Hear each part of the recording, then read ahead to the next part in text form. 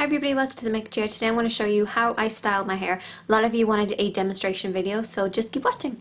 So I'm a little off center because I want to show you how I use this and I'm going to be doing a lot of this.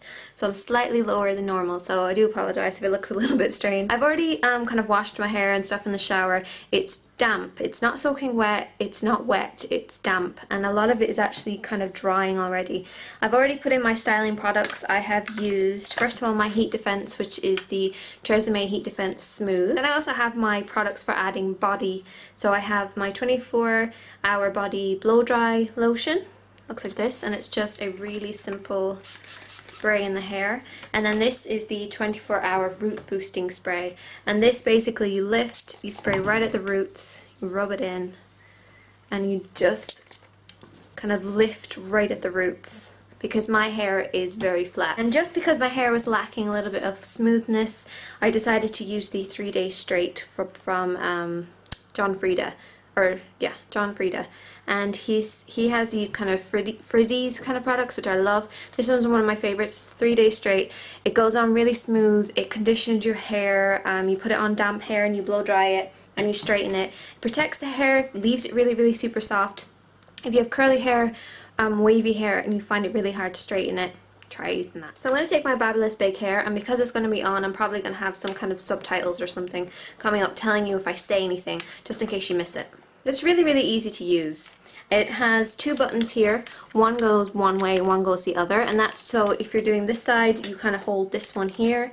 And if you're doing the other side, you're going to hold that button there. It also has the um, cool setting, which I think is kind of ridiculous because it doesn't do anything on a cool setting other than just blow out cool air and it doesn't really do anything. And then you also have a kind of medium setting and a high setting. Medium setting is a medium heat and a medium speed and then the high setting is high speed and high heat. So I tried to keep it as low as possible. So I'm going to section off my hair into two sections. So I'm going to have a top and a bottom don't have to do this, totally optional, but I just like to do it. I'm going to give it a quick brush through using this type of um, detangler, which is actually used for wet hair. Now you can buy these for like 150 in pennies, so the really expensive ones can go up to about 15 euro to 20 euro, so don't buy the really expensive ones. These work really nice, and it's nice little heart shape, slots in like this, and you just comb through your hair just prevents too much breaking. Now I'm going to section my hair into three sections. So there's going to be this side section here, there's going to be a back section, which you guys can't see, and then there's going to be another side section, because what I don't want to do is to take this hair at the back round to the front, because I'm going to get a kind of weird shape at the back of my head. So let's get started. So what I tend to do is I tend to put it in midsection, allow the brush to rotate around while I bring it down, and then I'm going to rotate it all the way up. All the time the brush is going to be spinning, and then once I get up to the top, I'm going to leave it there for a few seconds just to allow the heat to kind of get to the roots of it, and it's going to lift it and give it a little bit more volume and bounce.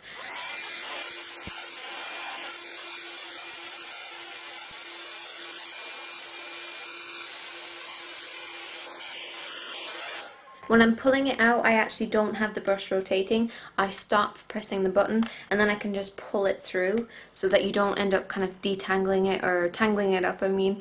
Um, so you just have a nice smoothness. So once you brought it up to the top, just take your hand off the button and just let it fall down again. But you, what you don't want to do is just keep rotating and rotating it because you can get your hair tangled in it.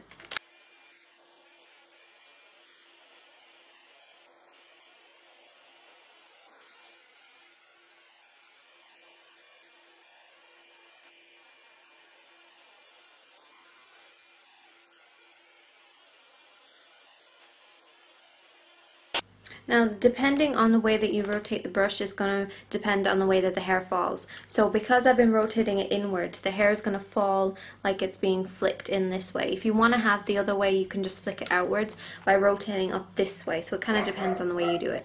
So I'm going to switch hands, I'm going to go the opposite way by pressing the opposite button so it's rotating in again. So I want to get the same shape on both sides. Now you can go underneath here and rotate it that way but you will get a slightly different kind of style. So I tend to switch hands and it's very easy to switch hands because you don't have to have any kind of you know left hand right hand preference or anything. It does work for both hands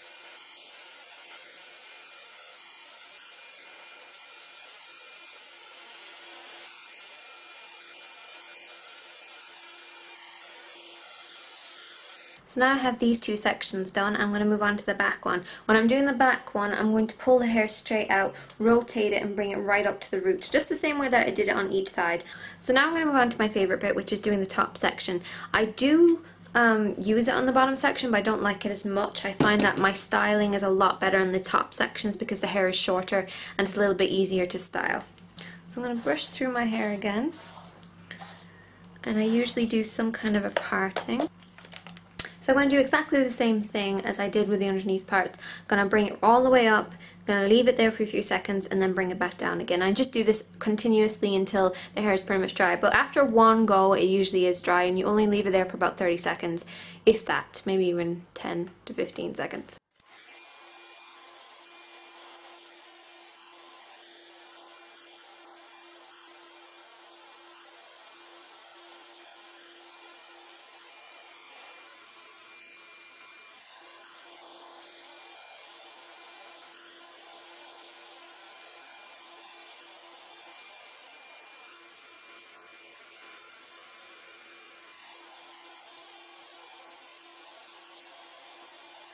And I like to usually lift it right up here so that the um, roots are really kind of volumized and brought up to be kind of bouncy so that when it falls, it's still got a little bit of lift in it. So I want to add a little bit more volume to the back of my hair. I have a very kind of prominent long kind of crease line in, in between. So what I usually do is make sure that I bring the hair up like this and all the way back so that I kind of cut it a little bit shorter and add some volume to the back of the hair. So that's what I'm going to do.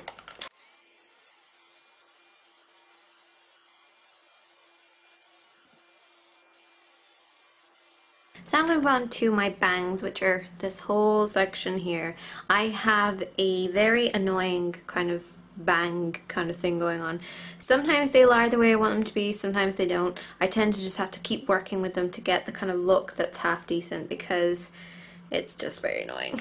So I'm kind of going to go in one direction, then the other, then the other, then back and forth like this until I get the volume that I want at the roots and also to see which way they're going to fall. Now if you had a full fringe, this is awesome for full fringes because all you do is rotate it up, bring it all the way down, especially if quite thick, um, heavy kind of fringe and it never really sits properly if you use a hairdryer. This really um, does work on those kind of things. But I really love it for bangs and pretty much everybody but my own bangs because my own bangs are very annoying and I have this kind of cowlick here and uh, it's just very annoying. So I'm just going to start working on them.